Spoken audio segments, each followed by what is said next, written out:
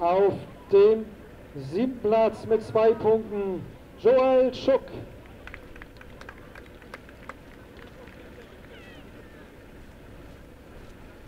Dann auf dem sechsten Platz mit drei Punkten Mailin Jurisch.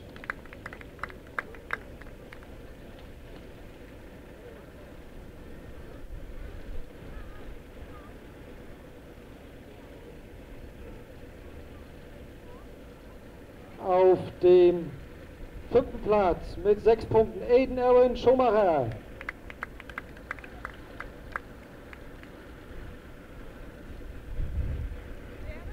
Dem, auf dem vierten Platz mit sechs Punkten Alexander Hagen.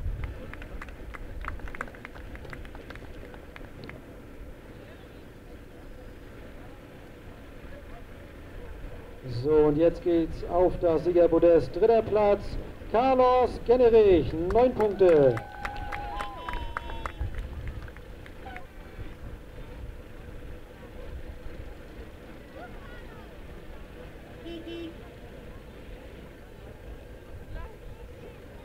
Und auf dem zweiten Platz mit zehn Punkten Tyler Haupt.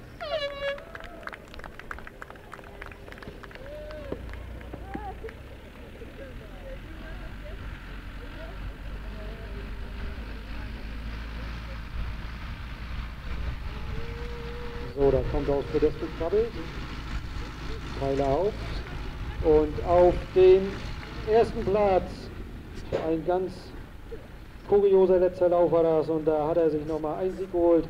Mit elf Punkten, erster Platz, Yannick Konzak. In Fachkreisen wird er auch die Spreewaldgurke genannt.